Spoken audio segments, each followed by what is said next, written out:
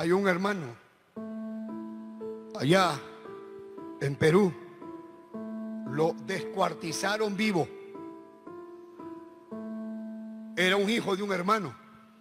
Salió en la televisión. El Perú se conmovió cuando el médico forense decía, él no estaba muerto cuando lo fueron despedazando. A él lo despedazaron estando vivo. ¿Cómo es eso, pastor? Que le sacaban dedo por dedo estando vivo. Le arrancaron la mano estando vivo. Le sacaron los dedos del pie. Le fueron cortando por pedazos. Le metieron un cuchillo por la cabeza. Hermano, le arrancaron un ojo con la punta del cuchillo estando vivo. Yo conocí a un hombre. Estando en Lima, tomé un taxi. Y al taxista le comencé a predicar y me dijo, ¿usted es el pastor? Sí, le digo, Dios te bendiga. Me dice, pastor, me dice, ahorita, ahorita, se acaba de bajar de acá del taxi el médico forense, el que le hizo la autopsia a los decapitados, a los torturados, a los despedazados.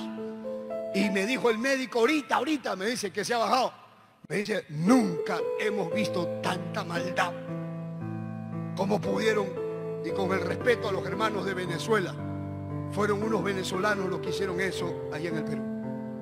Todos los venezolanos no son así, pero desgraciadamente ellos fueron unos venezolanos que lo picaron vivo.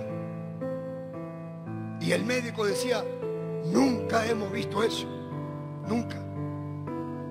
Y yo cuando miré eso, ¿y quién era? El hijo de un hermano del movimiento misionero mundial. Era niño. El pastor Rodolfo González lo presentó. Aleluya. Lo presentó, Señor, acá lo pongo en tus manos. Le pusieron un nombre bíblico. Creció en la iglesia. Su papá era pastor. Luego el papá se fue de viaje, pasó una situación y se quedaron ellos con la palabra. Pero luego crecieron. Y luego se fueron. Estaba en la iglesia. Y luego estaba en la discoteca. Luego estaba bailando. Luego estaba con las mujeres metiéndose a un hotel. ¿Qué hacía él conociendo el Evangelio en eso? ¿Qué hacía él si conocía la palabra metido ahí? ¿Por qué estaba haciendo eso?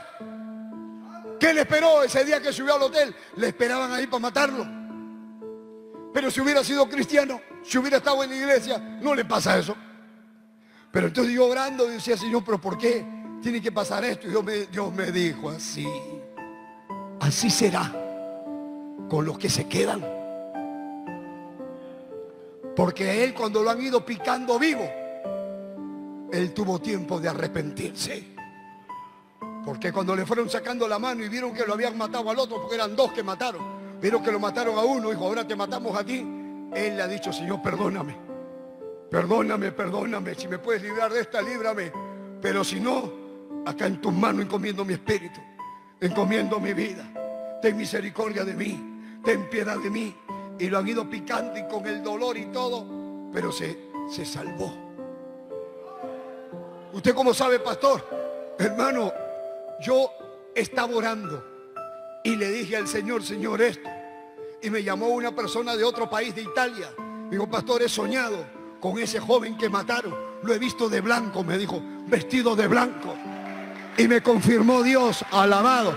Jehová, yo hablé con los padres de ese joven con el papá, el hermano Torrico, con su esposa. Y le dijo, hermano, yo estoy seguro que tu hijo se salvó. Estoy seguro, seguro. Porque tu hijo representa a los que se van a quedar en la tribulación. Porque el que se queda es porque no está bien. Y los que nos vamos es porque hemos peleado la batalla.